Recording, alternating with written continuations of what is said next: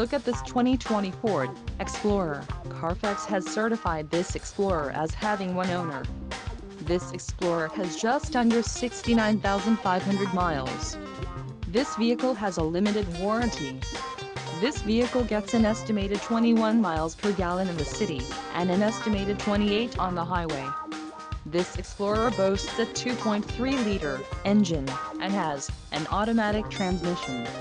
Additional options for this vehicle include power driver's seat, auxiliary audio input, climate control and driver airbag.